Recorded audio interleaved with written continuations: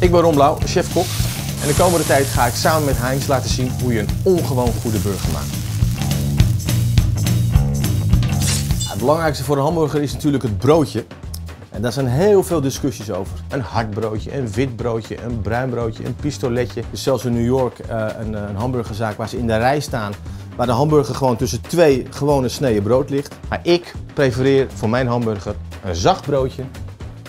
Gebruik ik altijd een vers broodje, is belangrijk. Nou, die snij ik door midden. En als tip smeer ik het broodje in met een klein beetje olie. Nou, ik heb nu een klein beetje olijfolie gebruikt. Het kan ook een beetje argile of een beetje sojaolie zijn. Of zelfs een beetje gesmolten boter. Als je dat gedaan hebt, ga je het broodje ongeveer voor anderhalve minuut op een half hete grill leggen. Kijk. Broodje is heel mooi knapperig, goudbruin. Heb ik daar nog een kleine tip voor. Dan smeer ik altijd het broodje in met een klein teentje knoflook.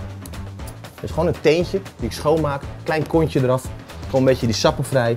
En als een soort bruschetta smeer ik die knoflook over dat knapperige broodje. En als laatste een beetje gemalen zeezout. En je hebt een heerlijk begin voor je ongewoon goede hamburger. En zo bouw ik mijn ongewoon goede burger op. Broodje, lekker knapperig. Hamburger, mooie Hollandse kropslag. Tomaatje erbij. En de uienmarmelade. Een beetje verspreiden. En natuurlijk wat Heinz ketchup.